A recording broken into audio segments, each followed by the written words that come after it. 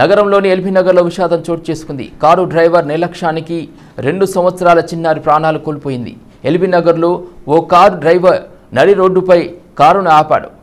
అంతేకాకుండా ముందు వెనకాల చూసుకోకుండా నిర్లక్ష్యంగా కారు డోర్ను తెరిచాడు.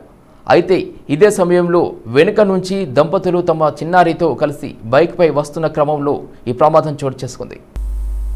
ఇక డ్రైవర్ ఒక్కసారిగా కార్ డోర్ తెరుచుకోవడంతో వెనుక నుంచి వస్తున్న బైక్కు తగిలి దంపతులు చిన్నారి కింద పడిపోయారు. దీంతో రోడ్డుపై ఉన్న రాయి బలంగా తగలడంతో చిన్నారి ధనలక్ష్మి అక్కడికక్కడే మృతి చెందగా తల్లి శశిరేఖ తీవ్రంగా గాయపడ్డారు.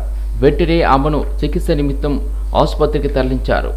వీరు మున్సూరాబాద్ నుంచి ఎల్బీ నగర్ వస్తుండగా ఈ ఘటన చోటు చేసుకుంది. అయితే ప్రమాదం జరిగిన వెంటనే కారు డ్రైవర్ అక్కడి నుంచి పరారయ్యాడు.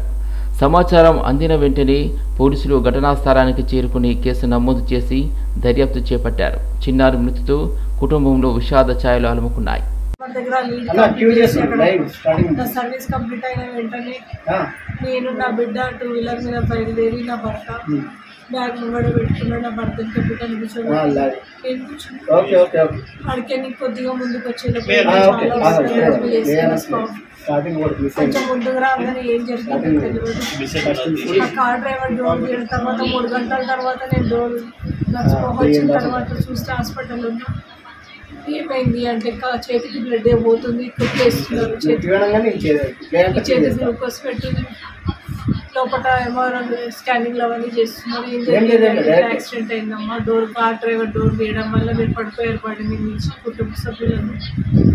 మీ అయినా నువ్వు మీ బిడ్డ పడిపోయారు ఇట్లా మీ బిడ్డను వేరే జాగ్రత్త ట్రీట్మెంట్ చేస్తున్నాం మీరు అడ్మిట్ ఉన్నారు మీరు కంగారు పడకండి మీరు ఆలోచిస్తే మీ నెత్తిన బ్లడ్ క్లాట్ అయింది.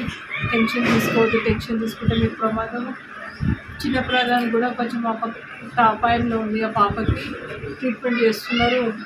నా బిడ్డను ఒక్కసారి నా కళ్ళకు చూపించండి సార్ అంటే నీ బిడ్డని ఇప్పుడు చూపించలేమమ్మా అక్కడ ట్రీట్మెంట్ జరుగుతుంది మీకు జరిగినట్టు పాప కూడా.